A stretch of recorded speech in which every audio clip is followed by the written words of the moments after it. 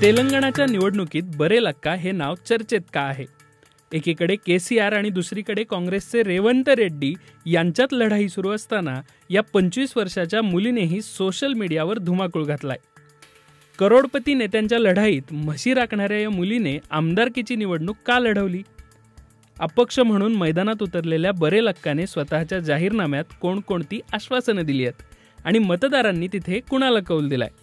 पाहुयात कोण आहे ही बरे लक्का.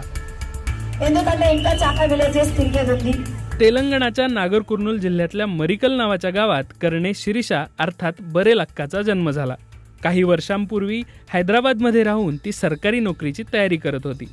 पण पेपर फुटल्यामुळे परीक्षा पुढे पुढे ढकलली गेली आणि पैसे संपले म्हणून करणे शिरीषाला तिच्या गावी परत यावं लागलं. गावात म्हशी राखायला गेल्यावर तिने सहज एक व्हिडिओ करून सोशल मीडियावर पोस्ट केला आणि तिचं संपूर्ण आयुष्यच बदललं. या व्हिडिओत ती म्हणाली होती की तेलंगणात तुम्ही कितीही पदव्या मिळवल्या तरी त्याला काहीही अर्थ नाही आहे तुम्हाला नोकरी तर मिळत नाहीच आणि अशा म्हशी राखाव्या लागतात. हा व्हिडिओ सोशल मीडियावर एवढा व्हायरल झाला की तेलंगणा पोलिसांनी तिच्या विरोधात कलम पाचशे पाच दोन अंतर्गत गुन्हाच दाखल केला. शिरीषाने बीबीसीला सांगितलं की हा व्हिडिओ तर व्हायरल झाला पण गुन्हा दाखल झाल्यामुळे तिला तिच्या म्हशी विकाव्या लागल्या आणि ती काही काळ डिप्रेशनमध्येही गेली. मग बरेलक्काने निवडणूक लढवण्याचा निर्णय का घेतला? बरेलक्काने तेलंगणातील बेरोजगारी विरुद्ध लढण्यासाठी विधानसभेची निवडणूक लढवणार असल्याचं जाहीर केलं आणि नागरकुर्नूल जिल्ह्यातल्या कोल्हापूर मतदारसंघातून उमेदवारी अर्ज दाखल केला. काँग्रेसचे जुपल्ली कृष्णराव यांच्या विरोधात ती उभी राहिली. तरीही बरेलक्काच्या उमेदवारीची सगळ्यांनाच दखल घ्यावी लागली होती. काही तेलुगू फिल्म स्टार्सनी एक्स या सोशल मीडिया प्लॅटफॉर्मवर पोस्ट करून बरेलक्काला पाठिंबा दिला होता. सोशल मीडियावर तरुणांनीही तिचा प्रचार उचलून धरला होता. बेरोजगारीच्या मुद्द्यावर निवडणुकीत उतरलेल्या बरेलक्काने मी निवडून आले तर सरकारला बेरोजगारीबाबत जाब विचारेन असं आश्वासन दिलं होतं.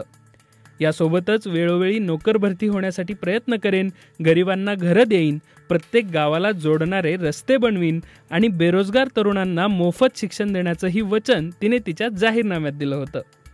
तेलंगणाच्या डॉक्टर आंबेडकर मुक्त विद्यापीठातून बरेलक्काने बीकॉमची पदवी मिळवल्याची माहिती तिने तिच्या शपथपत्रात दिली आहे.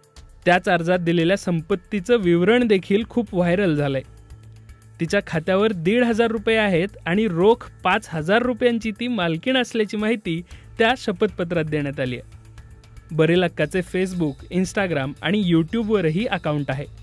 सुमारे दहा लाख फॉलोअर्स आहेत आणि साडेसहा हजार रुपये आणि हे फॉलोअर्स हे सोडलं तर तिच्याकडे कसलीही संपत्ती नसल्याची माहिती तिने दिली आहे.